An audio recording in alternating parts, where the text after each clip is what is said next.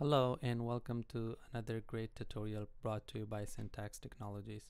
And in this video, I'm going to show you how to download and configure Selenium WebDriver. So without further ado, let's get started. Go ahead and open your favorite browser. And I want you to navigate to selenium.dev site. So type selenium.dev and hit enter.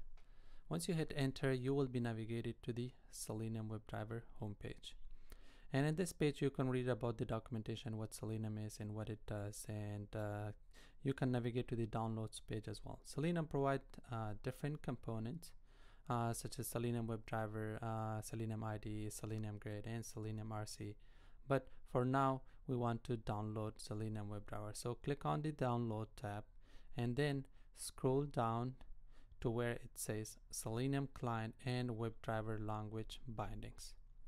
So under this title, you see that uh, Selenium supports different programming languages. It supports Ruby, Java, Python, C Sharp, JavaScript.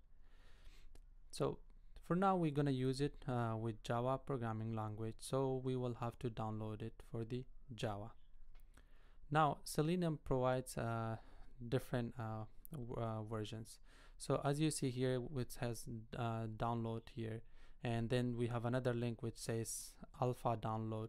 So uh, for now the alpha download is the selenium for uh, which is not stable. It's uh, experimental uh, version and it's still under test. So we would like to go and download the uh, version 3 which is uh, mostly used by different companies. Okay so go ahead and click on the downloads.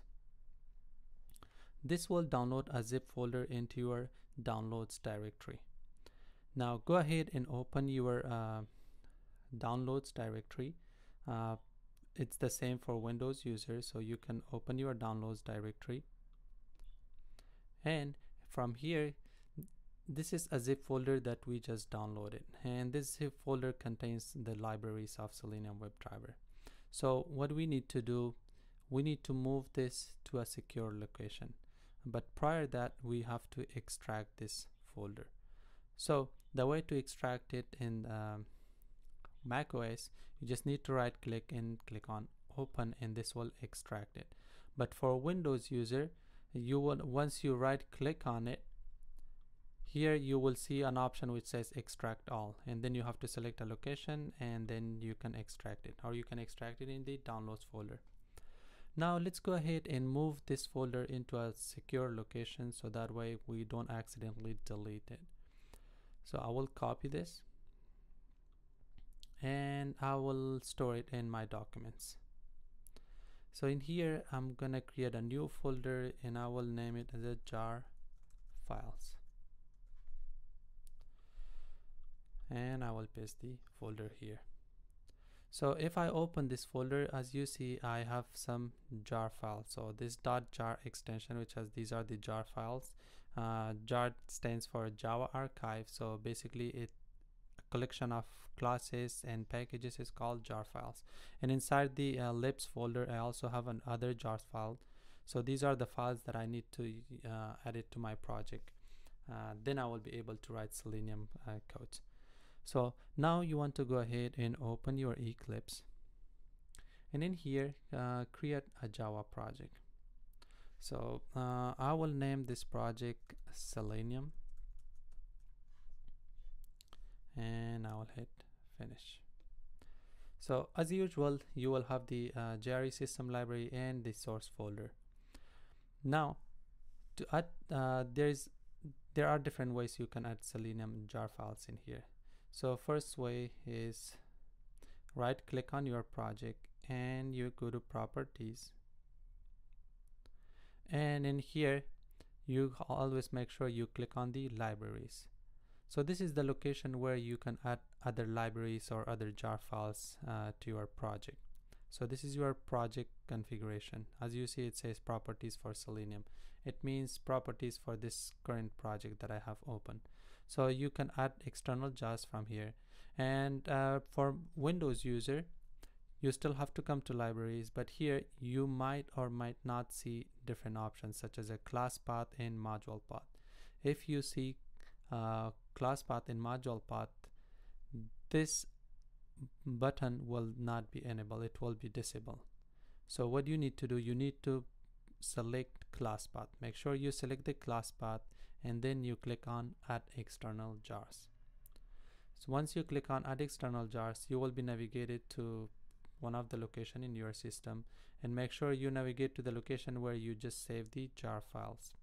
In my case I saved it inside the jar files and in here I have selenium java.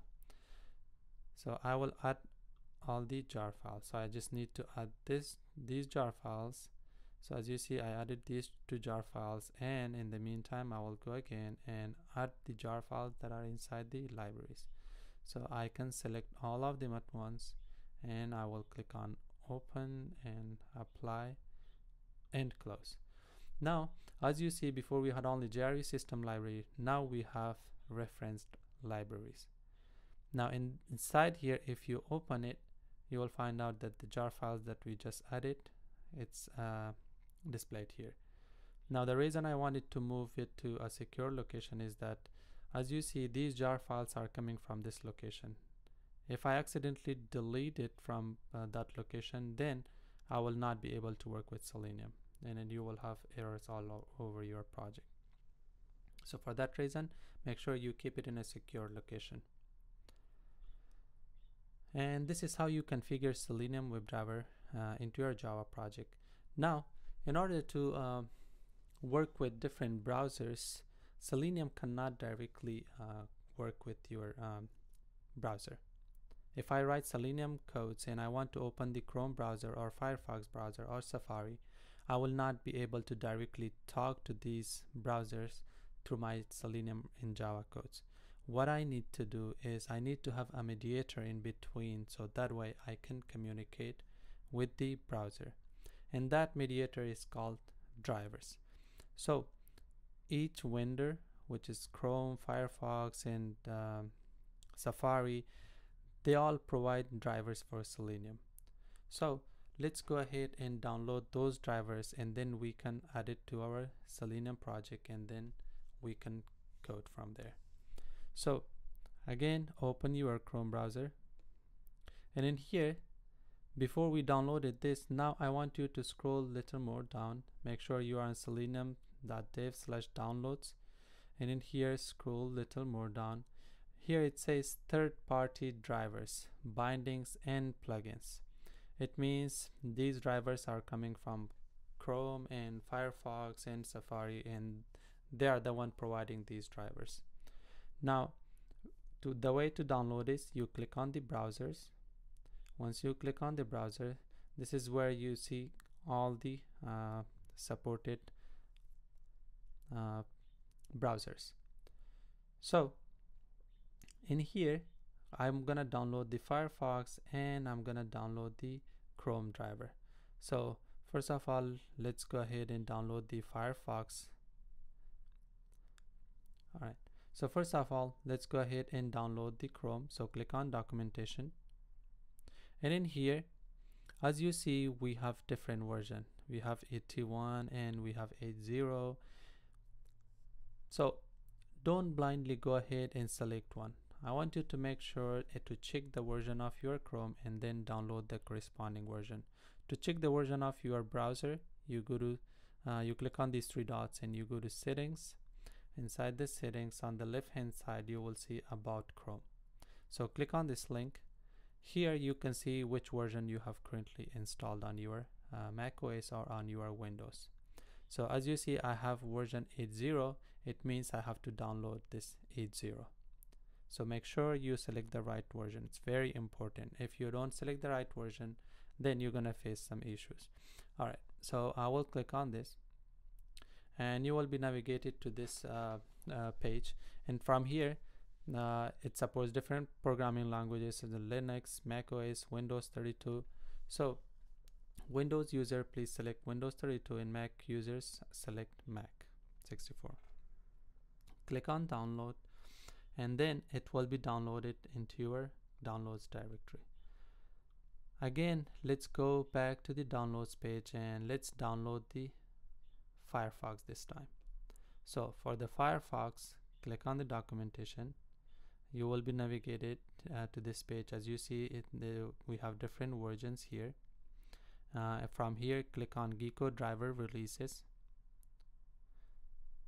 And in here scroll down again you will see different uh, versions and uh, different operating systems supported.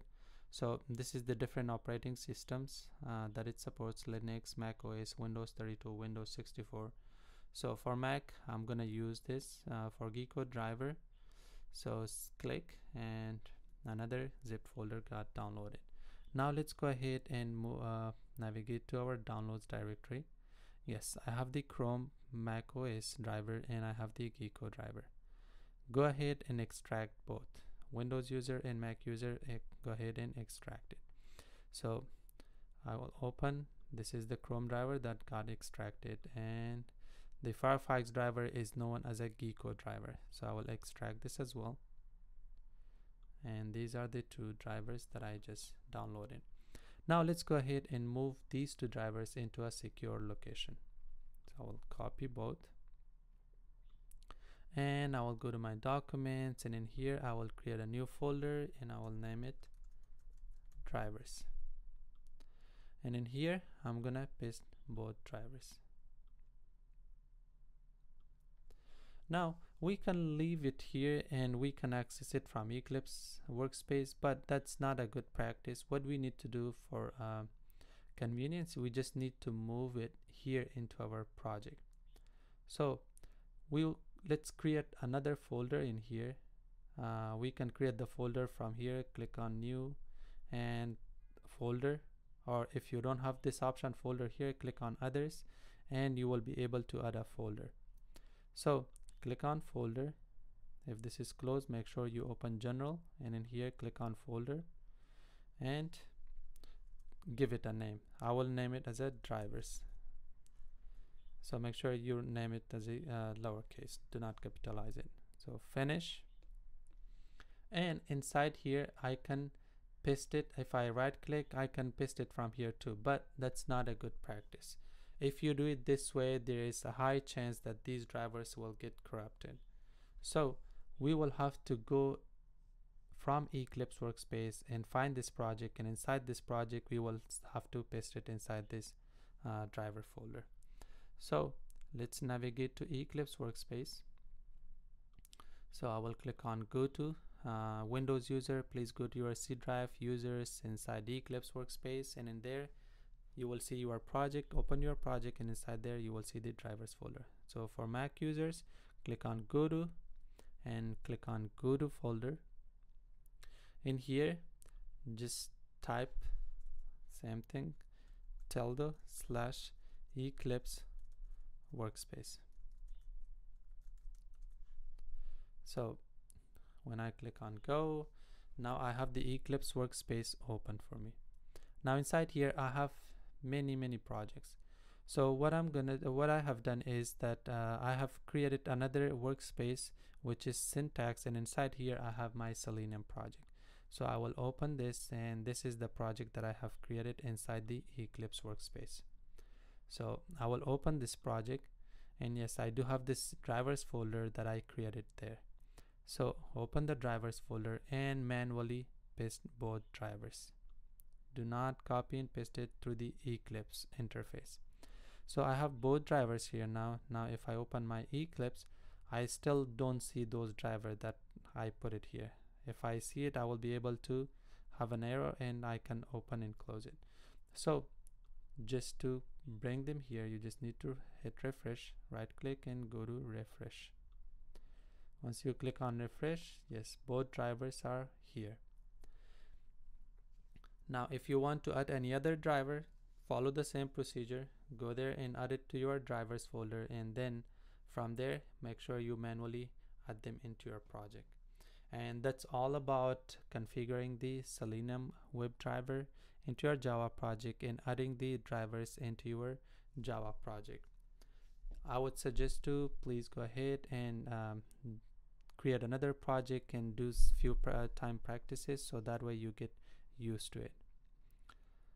All right and if uh, you want to add the jar files the jar files can be added from the properties. Click on properties. You go to libraries and then you click on add external jar. Another way to come here is you right click and you click on build path and then from here you click on configure build path. This is the easiest way of going to this location. So these are the two ways you come to this location and you click on add external jars and in the course we're gonna talk about uh, what jar files are and what we the things that we added what classes and what packages have uh, are there. We will learn that in details. And yep that's all. If you have any question please reach out to any of one uh, any of our instructor. And thank you for watching. Have a great day